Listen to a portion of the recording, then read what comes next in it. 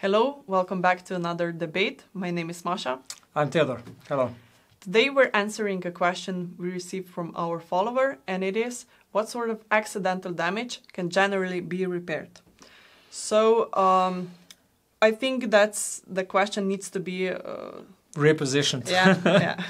uh, yeah, basically, it's more of a question which brands do repair everything yeah. and which brands don't repair anything. Yeah. So it's more of a this question. So I would say there is a clear distinction. The European premium brands, they can repair things that are almost unimaginable.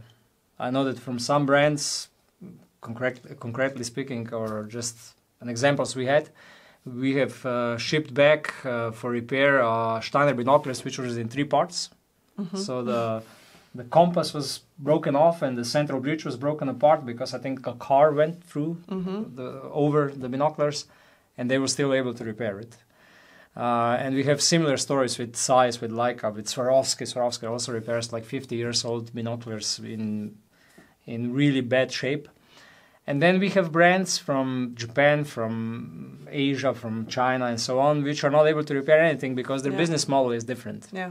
So this is the main question: is which binoculars can be repaired and which cannot be repaired. So when we're talking about European manufacturers, we have to mention that those who do the production in-house yeah. or in Europe. Yeah, yeah.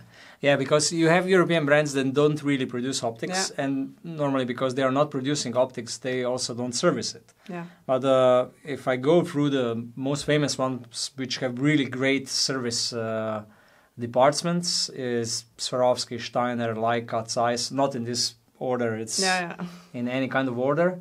Uh, Noblex also used to have a really good service. Uh, Meopta is also famous for for servicing everything, also really old models and so on. So these are the brands which are able to repair your binoculars. Yeah. And then you have a lot of other brands which basically when something goes wrong, you have to buy a new pair of binoculars. Yeah. We have uh, exa- uh, exception. Uh, mm-hmm. Vortex and Athlon have a type of warranty when they replace your binoculars. True. They so, are not servicing them. Yeah. At least not in European Union. I don't know in the US. Uh, you just get a new pair. Yeah. So that's also a good solution. And I think there are other brands in, in US which have a similar model. Yeah, there are probably many more. Yeah. Yeah. So, um, what actually can be repaired? Well, most common problems. Uh, we also have a video about this most common yeah. problems that can happen. But let's say if we we speak about the damage. Uh, collimation problems. So when you are seeing double vision and you see that something is wrong, that means that the both optical axes are not uh, aligned anymore. Aligned, yeah. This is something what every European brand can uh, can definitely solve. Uh, but then housing damages. Mm-hmm. Let's say if your binoculars are 20 years old and they were on the sun and exposed to uh, salt water and so on, uh, all the rubber can be replaced and and everything else can be repaired uh, yeah. with premium European brands.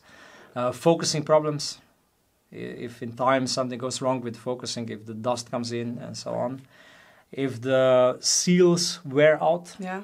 And you get internal fogging because yeah. uh, water. water. gets in, binoculars. What else can be repaired? Yeah, more or less. If your eye cups uh, wear so, off, yeah. they can be replaced. Yeah, they can just yeah. screw the old one off and uh, then put the new one on. This is one option. Okay, but then there are some still, I would say, some cases where damage cannot be repaired. Yeah, if you're improperly uh, cleaning your binoculars and scratches happen on the outer yeah. lenses, this cannot be repaired. I think usually they don't change the yeah. lenses now.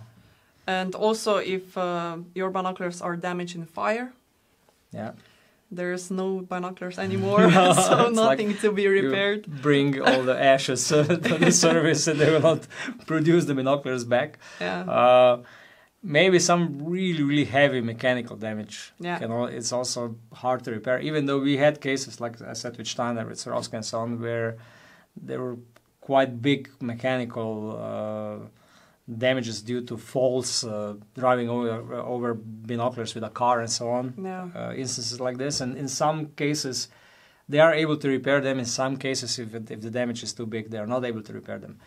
Uh, usually, it works like this: you send the binoculars back to us or directly to the to the factory, and they send you a quote how Mhm. much the repair would cost, and then you decide. Because honestly speaking, if you drive over your binoculars with a car, the warranty will not cover this. Yeah.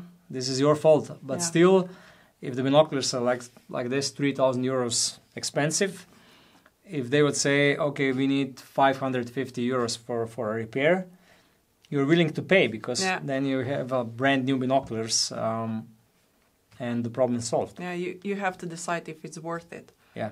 Yeah. Okay.